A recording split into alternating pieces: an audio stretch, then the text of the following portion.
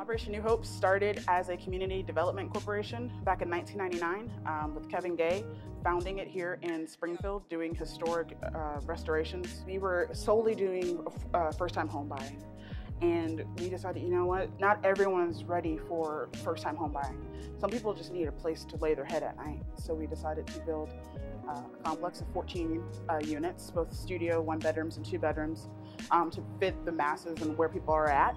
The reason that the Dozier Apartments are called the Dozier Apartments is after Henrietta Dozier, the first female architect here in Springfield and Jacksonville as a whole. Because of Henrietta Dozier, we were able to build this amazing complex here and marry the old construction here of Springfield to the new construction of the Dozier Apartments. The Dozier Apartments being someplace that you can call home, you feel safe, you feel comfortable in, allows people to grow in other ways jobs, uh, careers, things of that nature. I live in the Springfield neighborhood in Jacksonville, Florida.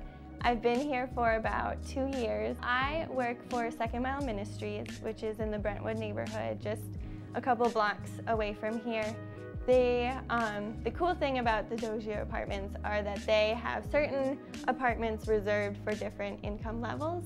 I had been kind of in flexible housing arrangements and often living out of a suitcase and having a place to put my things and to come home to and know that like it was my space um, was really great and really invaluable and just truly a blessing.